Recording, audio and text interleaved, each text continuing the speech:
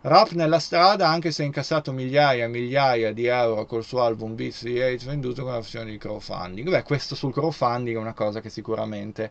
Ma la musica l'hai studiata da autodidatta? Sì e no, nel senso che mio padre è musicista e mio nonno è musicista. Io descendo dai miei, diciamo, antenati sulla linea maschile, sono tutti musicisti, quindi ho ereditato la capacità di capirla.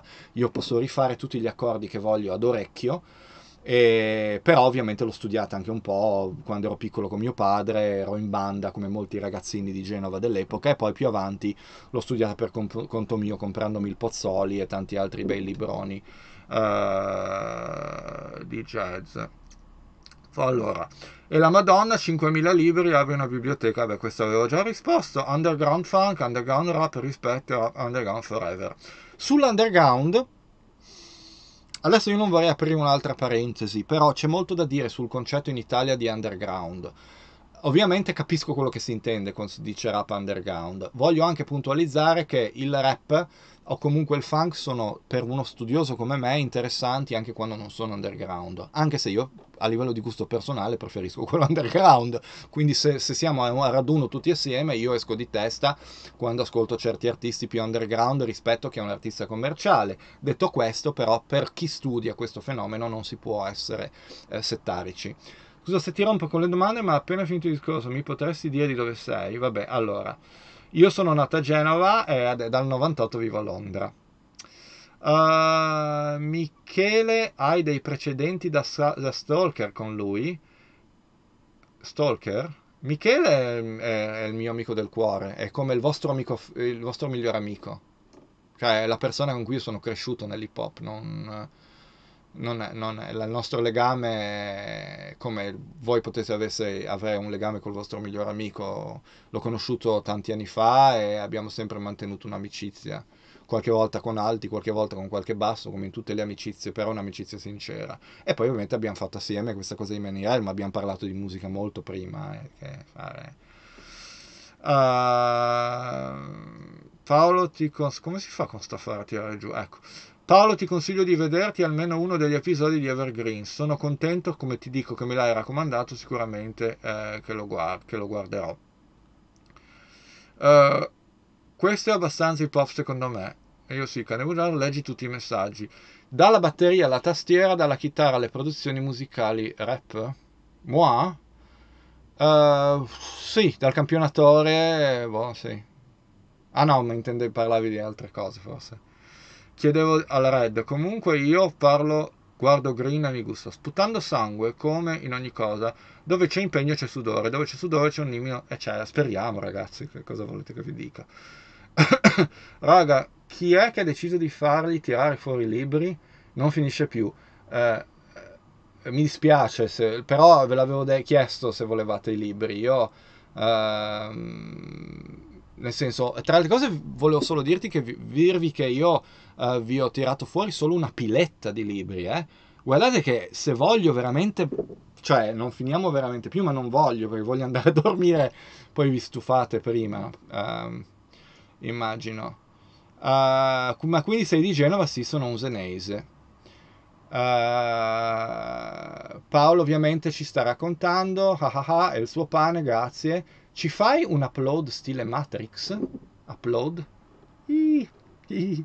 Ma quindi sei di Genova? Prova a guardare la puntata di Bassi dove intervista Luca Exosan. Preziosissimi consigli sui libri. Allora, sì, io lì una, ci sono altre 4-5 pile di libri che sono il doppio di questa e che sono solo pertinenti all'hip hop. Ovviamente, per adesso, diciamo guardatevi questa. Poi un giorno, se volete, facciamo una maratona, tutto il giorno libri e proprio li apro, leggiamo assieme dei passi, mi fate le domande, mi contestate le mie interpretazioni, ci scambiamo tante idee perché a me aiuta tantissimo a capire di più. Eh, cazzo, sei stato al Palladium di Vicenza. Io, per la buonanima di Ciso, che mi dispiace tanto sia sparito così, è veramente un peccato. Io compravo i dischi da lui e facevo anche un programmino mixato che lui per un po' di tempo ha avuto il buon cuore di mandare su Radio Palladium. Cioè io compravo un pacco di dischi da lui, facevo il programmino e lui un po' di puntate le ha mandate lì. Poi queste cassette di questo programmino mixato, io e un socio che saluto, che si chiama Poke Genova, eh, le facevamo girare tra amici. Eh, io e Ciso avevamo un, almeno io con lui avevo un ottimo rapporto, lui penso che mi vedesse molto bene, io andavo al Palladium sia nelle serate normali, però anche eh, l'ultimo venerdì del mese quando facevano la serata funk. E quelle, poi ho fatto un capodanno al Palladium.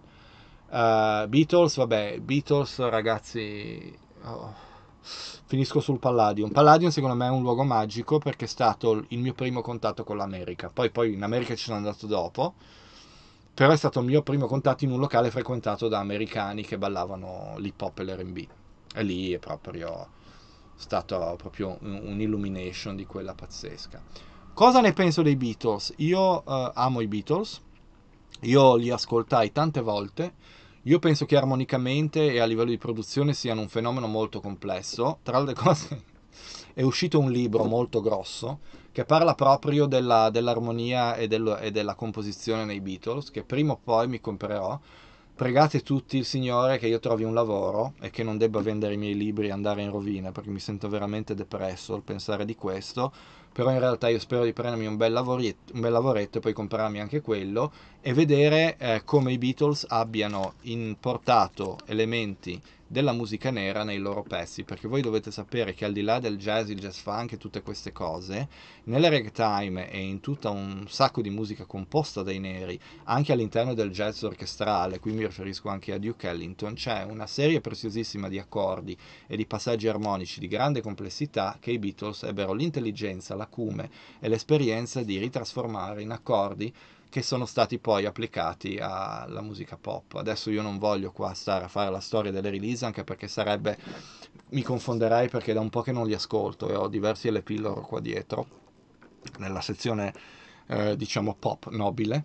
Uh, non penso di averne parlato nella puntata che ho fatto che si chiama Io amo il pop, dove difendo il pop e parlo di, di, quello che è il pop che mi piace, ma semplicemente perché sono un mostro così imponente, sono un masso nello stagno, cioè per parlare di Beatles e fare un discorso serio dovrei veramente ricercare molto di più e studiare molto di più. Io li apprezzo, li ammiro, uh, guardo molto su YouTube video dei loro vecchi concerti, poi io amo Paul McCartney, che secondo me è un genio assoluto e ascoltatevi dei live di Paul McCartney, ascoltatevi i pezzi del periodo disco, ascoltatevi Coming Up di Paul McCartney, eh, ma anche il commercialissimo Taking Over, uh, Love, come chiama? Love Takeover, takeover di... di eh, buonanotte cane bugiardo, adesso vado anch'io, vado anch'io, mi dispiace di tenervi così tanto, anch'io incomincio a sentire il sonno. Eh, comunque sì, niente. Ehm, andiamo? Schiaccia stop streaming in basso a destra. Schiamo stop streaming, vabbè. Niente, volevo solo dire che appunto ci vuole tanto tempo. Comunque ragazzi, io adesso a questo punto... Dove devo schiacciare Michele? In basso a destra? In basso a destra? Lo vedi stop streaming? Ah sì. Allora ragazzi, io vi saluto. Uh, mi sa che vi ho annoiato per 30.000 ore. È stato un piacere per me chiacchierare con voi e avete visto come quando improvviso Uh, sì, è un peccato che gli Oasis siano scelti. Sì, sono sciolti, sono scelti. Uh, quando improvviso e sono in relazione con voi, uh, vado, vado, vado, a 90, vado molto di più che quando sono da solo che parlo dalla telecamera. Quindi se volete rifacciamolo e buonanotte a tutti e tanti sogni porno a tutti quanti. Ciao ciao!